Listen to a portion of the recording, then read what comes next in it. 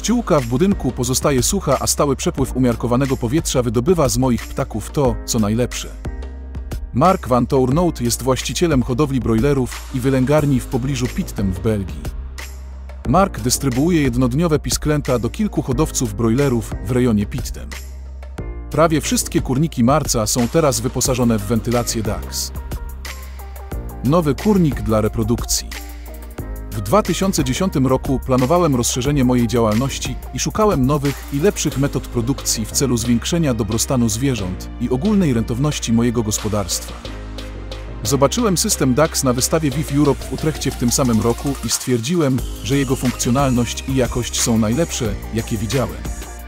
Postanowiłem zainstalować system w moim nowym kurniku dla nioski reprodukcyjnej.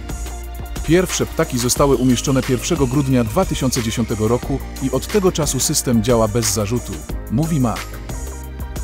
Ptaki odpłacają tym samym. W ciągu 8 lat Mark Van Tournout wyposażył więcej swoich budynków w wentylację DAX, a w 2019 roku dołączą do nich dwa ostatnie. W porównaniu z moimi starymi systemami z wrotami w ścianach bocznych widzę znaczące zmiany. Teraz prawie nie widzę żadnych jaj na podłodze, a moje ptaki dobrze się rozwijają bez względu na porę roku. Ściółka w budynku pozostaje sucha, a stały przepływ umiarkowanego powietrza wydobywa z moich ptaków to, co najlepsze. Widzę to bardzo wyraźnie, gdy patrzę na moje wyniki produkcyjne, ptaki odpłacają się ze względu na lepszy klimat w kurniku zapewniany przez system DAX. Ze względu na znacznie łatwiejszą i bezpieczniejszą obsługę mogę skupić się na ptakach i wylęgarni, podsumowuje Mark.